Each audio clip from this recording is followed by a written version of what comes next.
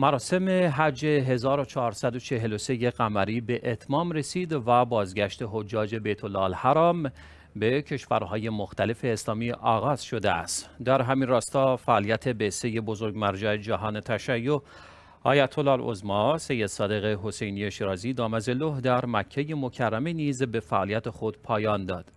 فعالیت های این بعثه در حالی پایان یافت که در طول این مدت مسئولان این بعثه دیدارهای مختلفی با مسئولان بعثه های مختلف دیگر مراجع اعزام تقلید داشتند.